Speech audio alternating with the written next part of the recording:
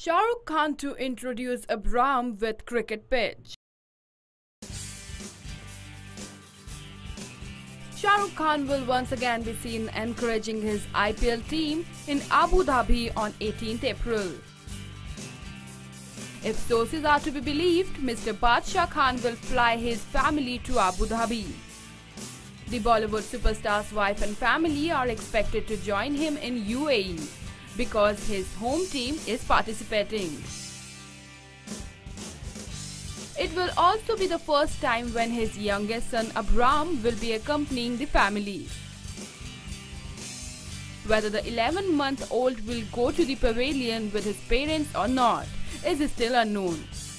Just imagine the youngest Khan supporting his daddy's team. He will be the second youngest VIP member after Viaan Raj Kundra.